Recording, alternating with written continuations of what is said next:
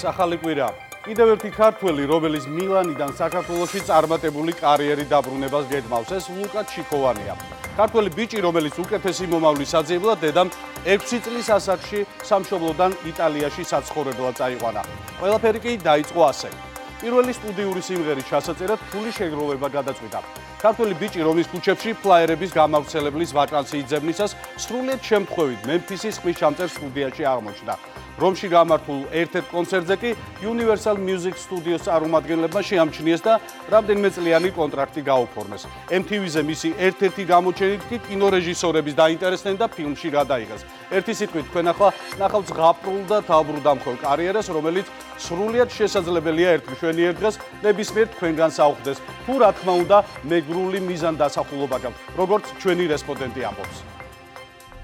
Festival de Cannes. Bienvenue à la, la montée des marches du film d'Alice Rohrwacher, Lazzaro Felice. Oh là là, mon accent italien, je m'entends.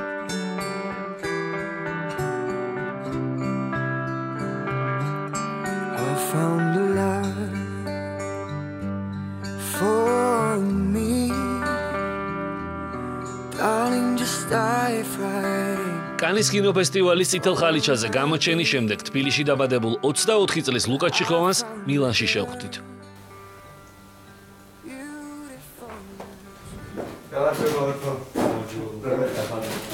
ადგილი თავის პროდიუსერთან ერთად თავად შეარჩია. მილანის ერთ-ერთი ცენტრალური უბნის ვიწრო ქუჩაზე მდებარე სამკითხველო. იტალიაში მცხოვრები ახალგაზრდები აქ ხშირად იკრიბებიან. მსჯელობენ კინოზე, მუსიკაზე და მათთვის აქტუალურ თემებზე. შეიძლება ითქვას, ლუკასანას სითქმის ამ თანმიმდევრობით მოგვიწია საუბარი. მუსიკოსი პირველ კინოროლს და კანის კინოფესტივალის შთაბეჭდილებებს ემოციურად იხსენებს.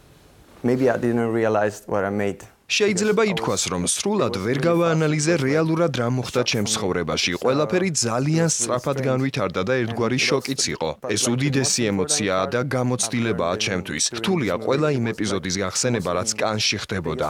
არაჩვეულებრივი ადამიანების გარემოცვაში მოხვდი, იყო ბევრი რჩევა, ფილმთან დაკავშირებული კომენტარი. რაც მთავარია, წლევანდელი ფესტივალი იტალიისთვის ნამდვილად გამორჩეულად შეფასდა, რადგან რამდენიმე იტალიური ფილმი იყო წარდგენილი კანში და ყველას დიდი გამოხმაურება მოყვა. მოყვა. პრემიერის შემდეგ დარბაზში აპლოდისმენტები 10 წუთზე მეტხანს გაგრძელდა. ახლა ყველაზე საინტერესოა, როგორ მიიღებს ამ ფილმს მაყურებელი, როდესაც კინოთეატრებში გამოვა.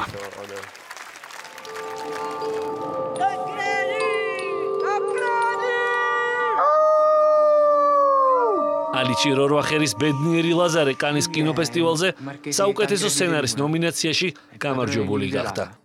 როგორც ლუკა ამბობს, ფილმის პროდიუსერებმა ახალგაზრდა ქართველი მუსიკოსი პირველად MTV-ზე ნახეს და საინტერესო წინადადებით დაუკავშირდნენ. შემდეგ კი პირველი კინოროლი მიიღო. She asked like You want to come to Rome to დამირეკეს და რომში ჩასვლა შემომთავაზეს. გულწრფელად რომ თქვა, ნერვიულობდი, რადგან არ მქონდა ფილმში გადაღების გამოცდილება. თავდაპირველად არ ვიყავი დარწმუნებული, რომ ეს შემოთავაზება უნდა მიმეღო, რადგან ცოტა შემეშინდა. ზოგჯერ ვფიქრობ, რომ ადამიანების წინსვლისთვის ერთ-ერთი შემაფერხებელი შიშია, მაგრამ შემდეგ გავრისკე. გარშემომყოფმა ადამიანებმა, დედამ, მეგობრებმა მითხრეს, რომ ეს კარგი გამოცდილება იქნებოდა ჩემთვის და ცხოვრებისეული გამოწვევა, რომელიც მომავალში ბევრ რამეს მომცემდა. კასტინგში მივიღე მონაწილეობა ორი თვე ვემზადებოდით, ვიდრე გადაღებები დაიწყებოდა. საბოლოოდ ფილმის სცენები რომთან ახლოს გადაიღეს. სამი თვე გაგრძელდა მუშაობა. აქ ვნახე თუ რამ ხელა შრომადევს გადასაღებ მოედანზე განსაკუთრებული გამოცდილება მივიღე. ყოველ დღე 10 საათს გრძელდებოდა გადაღებების პროცესი.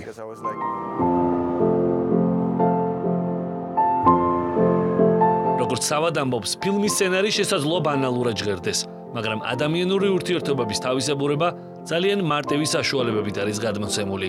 თulis რომ თითოეულ მაყურებელთან ფილმი ძალიან ახლოს მივა. განსაკუთრებით აინტერესებს ქართველი მაყურებლის შეფასება.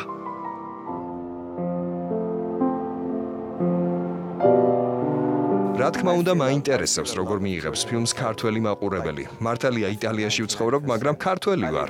ბევრი რამ მაქვს ქართული. because I'm megreli. Megreli ვარ.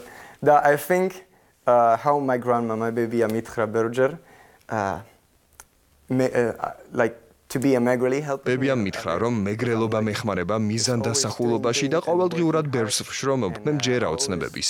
აგრეთვე იმის, რომ ყველაფრის მიღწევა შესაძლებელია. ბევრი რამ ვისწავლე დედაჩემისგან და ბებიასგან, რომლებიც საქართველოში დაიბადნენ. დედაჩემი ნამდვილი მებრძოლია, რადგან მან მარტო გამზარდა იტალიაში. მაშინ ნამდვილად რთული პერიოდი იყო საქართველოში. მე მისგან ვისწავლე, როგორ ვყოფილიყავი ქართველი. საქართველოში ნამდვილად გამორჩეული ხალხია. ისინი ყველგან ამბობენ, რომ უყვართ საკუთარი ქვეყანა. მინდა რომ ჩემით იამაყონ საქართველოში და სამშობლოში წარმატებული დაუბრუნდე. from uh, from Georgia. მუსიკალურ კარიერასა და იტალიურ კინომდე სხვა ემიგრანტების მსგავსად ბევრი სირთულე იყო. 6 წლის ასაკში დედასთან ერთად თბილისიდან რომში გადავიდა. ლუკა ჩიკოვანმა 14 წლიდან საკუთარ სახლში ცნობილი სიმღერების ქავერ ვერსიების ჩაწერა არაპროფესიონალურ გარემოში დაიწყო. პირველი სტუდიური სიმღერისთვის ფულის შესაგროვებლად რომში სხვადასხვა დაწესებულებაში ფლაიერების გამავრცელებლის ვაკანსიას ეძებდა და შემთხვევით ერთ-ერთი ხმისჩამწერი სტუდიის ოფისში აღმოჩნდა. Hello, it's me. Somewhere like around Rome and searching like for the shops. მთელი რომის მასშტაბით ვეძებდი სამსახურს. ერთ დღეს, როდესაც შევედი ერთ-ერთ დაწესებულებაში და სამსახურზე ვკითხე, დაინტერესდნენ თუ რატომ ვეძებდი ზაფხულში სამსახურს. შემდეგ მითხრეს, რომ გავსულიყავი გარეთ და წარწერა მენახა ადგილის, სადაც შემთხვევით შევედი. აღმოჩნდა, რომ მემფისის ხმის ჩამწერ სტუდიაში ვიყავი. ვესაუბრე პროდიუსერს, მოეწონათ ჩემი შემოქმედება და ერთ კვირაში გავაფორმეთ კონტრაქტი. შემდეგ რომიდან მილანში გადმოვედი, რადგან უფრო მეტი შესაძლებლობაა შემოქმედებითი პროფესიისთვის. მოგვიანებით მილანში კონცერტზე Universal Music Studio-მ შემამჩნია და უკვე 3 წელია მათთან კონტრაქტი მაქვს. ამას მოყვა პირველი მუსიკალური ალბომი 2016 წელს, რომელიც მესამე ადგილზე აღმოჩნდა გაყიდული ალბომების რაოდენობით იტალიაში. შემდეგ იყო სხვადასხვა შოუები და ტურნე იტალიის მასშტაბით. მილანში პარალელურად კომუნიკაციასა და მედია მარკეტინგს სწავლობ. in Milan. იმ წლებში, როდესაც საქართველოში ცხოვრობდა რთულ პერიოდთან ერთად, ყველაზე გამორჩეულად ადგილობრივი სამზარეულო და ერთი ქართული სიმღერა დაამახსოვრდა. არ მინდა რომ გული გათქინო.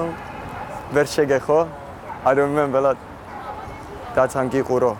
ცოტა ცოტა ვიცი, უნდა ვისწავლო მე მე- მეტად. Sing it with the Universal Music. როდესაც სტუდია Universal Music-თან კონტრაქტი გავაფორმა, შემდეგ გავაანალიზე, რასთან მქონდა საქმე. მივხვდი, რომ ეს უკვე აღარ იყო ჰობი და ჩემი მთავარი საქმიანობა გახდა. ამან მომცა ბევრი კონცერტის ჩატარების შესაძლებლობა და ამ სტუდიის მუსიკოსებთან მუშაობის საშუალება.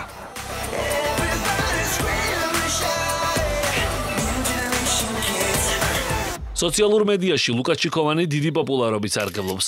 Twitter-სა და Instagram-ზე მის გამომწერთა რაოდენობა ყოველდღიურად იზრდება. კონცერტებს მთელი იტალიის მასშტაბით სხვადასხვა ვარსკვლავთან ერთად მართავს. სექტემბრიდან კი ახალ პროექტებში მონაწილეობას აპირებს, თუმცა დეტალებზე საუბრისგან თავს იკავებს. მასშტაბური გეგმების მიუხედავად, მისი ყველა ოცნების ასრულების შემდეგ ლუკა ჩიკოვანი საქართველოში წარმატებული კარიერით დაბრუნებას გეგმავს.